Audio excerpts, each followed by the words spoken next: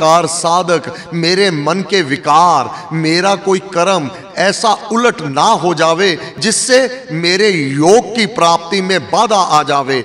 जब वह प्राप्त हो जाता है, अब उसे शांति हो जाती है। शांति कैसे प्राप्त हुई?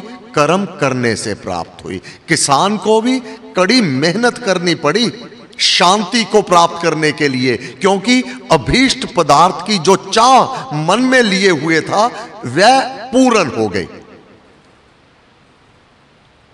साधनशील को तो हम सब साधनशील हैं।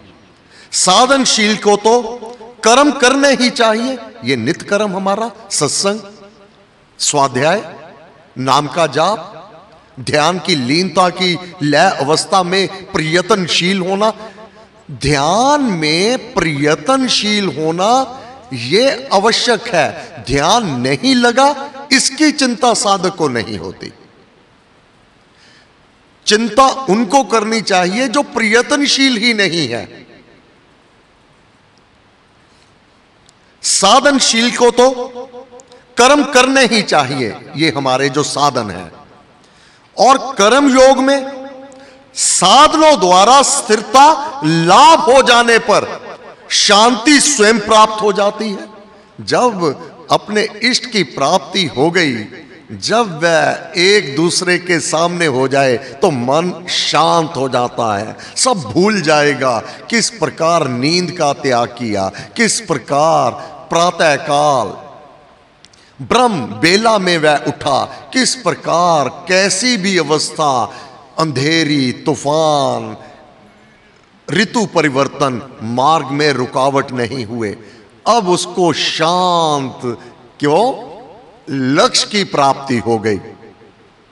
शांति, कर्म करने का परिणाम है। बिना कर्म किए, बिना प्रयत्न किए ना तो लक्ष्य की प्राप्ति होगी और जब तक लक्ष्य की प्राप्ति नहीं होगी तो शांति नहीं होगी। तो कर्म नियम पूर्वक साधना के प्रत्येक मानव को करते रहना चाहिए। इसके लिए गुरु महाराज ने अपने प्रवचन में कहा था, अपनी साधना में श्री स्वामी जी महाराज के यह शब्द हैं। साधना में एक मन होकर योगारूढ़ कौन है? योगारूढ़ जो इस पथ पर, उस योग पर चलने वाला। उसके चिन्ह भी आगे जाके वर्णन हो जाएँगे अर्जुन पूछेगा क्योंकि अगर उसको खिताब दिया जा रहा है, योगा रूढ़ के नाम से पुकारा जा रहा है तो उसने क्या क्या छोड़ दिया? किस किस चीज़ का त्याग किया जिसे उसे यह खिताब प्राप्त हुआ? और किस किस साधन को उसने अपनाया? क्योंकि भगवान ने कहा, जो एक मन से मेरी साधना करने लगते हैं। वह मुझे प्रिय हैं और मुझको प्राप्त करते हैं। उसके लक्षण कैसे होंगे? उसने क्या त्याग किया और किस चीज़ को अपनाया जिससे वह परमात्मा का प्यारा हुआ? गुरु महाराज ने कहा, वह योगा रूढ़ कहलावेगा, वह भगवान की कृपा का पात्र बन जावेगा और अगर साधन संपन्न ना भी हो पावे, अपने प्रारब्ध कर्म के कारण, वह नष्ट ना होकर उन्नत लोकों में जावेगा, उन्नत घरानों में पहुंचेगा। बुद्धिमंत योगियों के कुल वह ग्रह में जन्म लेगा। साधना एक मन होकर लगना चाहिए। एक गुरु, एक इष्ट, योगारूढ़ के लिए, योग की प्राप्ति के लिए, उस ब्रह्म की प्राप्ति के लिए। आज यहाँ गए, कल वहाँ गए। आज ये साधन किया, कल को दूसरा साधन किया, वह योग की प्राप्ति नहीं कर पाएगा। त्यागी, अब कर्म योगी भी वह होगा, अब त्यागी भी वह होगा। क्या त्याग करेगा? विचारनी भक्ति त्याग करेगा। स्थान स्थान पर नहीं भटकेगा। ये तो त्याग हो जाएगा उसका। कर्म योगी क्या होगा? वही व्यक्ति त्यागी होकर कर्म योगी हो जाएगा। एक इष्ट की ओर पूरी निष्ठा, पूरा विश्वास। त्याग क्या किया? आज एक साधन किया, कल दूसरा किया। नाम योग पर वह योगारूढ़ नहीं हो पाएगा। इससे भगवान स्वयं डॉक्टर बन जाते हैं।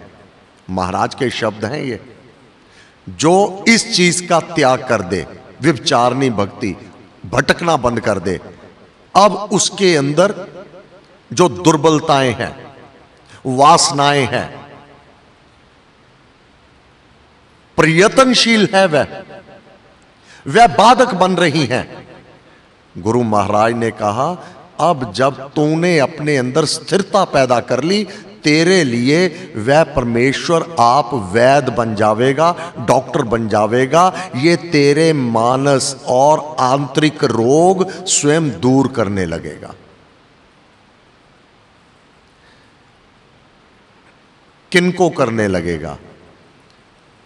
जिनका लक्ष्य हो जावेगा आत्मा को पवित्र बनाने का लक्ष्य। अब उसका नाम का अभ्यास, फलीभूत गुरुदेव कृपा से और श्री राम कृपा से योग के ऊँचे पद पर चढ़ना चाहने वाले मननशील मुनि के लिए। अब उसके कर्म। और उसकी बागडोर परमेश्वर श्री राम अपने हाथ में ले लेवेंगे। योगा रूढ़ के प्रति गुरु महाराज ने इस प्रकार से वर्णन किया। प्रसंग लंबा है, परंतु समय पूरा हो गया। आज बुधवार इस समय भीतर अखंड जाप आरंभ हो जाएगा, जो सायंकाल तक चलेगा। ओम नमो भगवते वासुदेवाय नमः। ओम नमो भगवते वासुदेवाय नमः। सर्वश